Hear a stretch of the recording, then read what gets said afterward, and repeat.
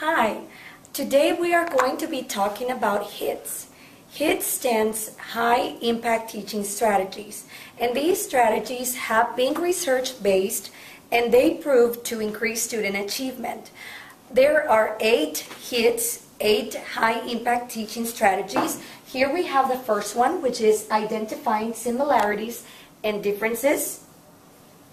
Hit number two, summarizing and note taking. Hit number three, reinforcing effort and providing recognition. Hit number four, homework and practice. The fifth hit is non-linguistic representation. Hit number six, cooperative learning. Seven, hit number seven, generating and testing hypothesis.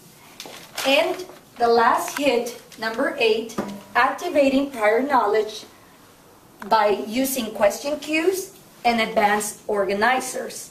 These eight hits can be used in your classroom to extend student achievement and to get the best possible results from your teaching and your students.